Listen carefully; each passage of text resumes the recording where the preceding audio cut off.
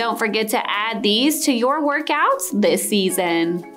These Skechers feature a breathable mesh upper and I love how this midsole has almost an ombre kind of style. They have a textile lining with an air-cooled Goga-Mat footbed that is so great for breathability and high rebound.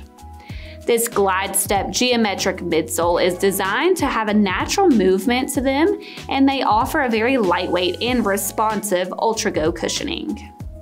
Underneath, they have a really flexible and grippy outsole, and these will be awesome to wear with your favorite matching workout outfit.